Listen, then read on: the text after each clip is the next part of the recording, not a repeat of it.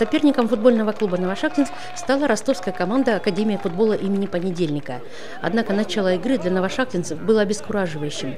На 12-й минуте был пропущен первый мяч. На 17-й ростовчане удваивают счет.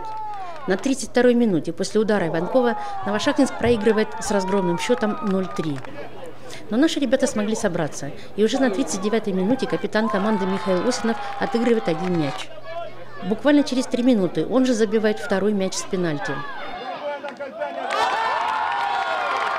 Второй тайм игры прошел с явным преимуществом нашей команды. Ростовчанам забить больше не удалось. А вот футбольный клуб «Новошахтинск» заколотил еще четыре мяча в ворота гостей. Николай Шершов на 51-й минуте.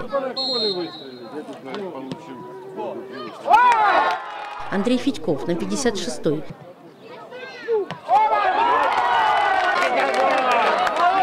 Михаил Осинов на 72-й, а Артем Бровченко на 84-й минуте забивает шестой мяч в ворота Академии имени Понедельника.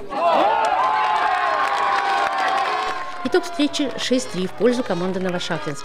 И наши ребята, набрав 27 очков, поднимаются на третье место в турнирной таблице высшей лиги чемпионата.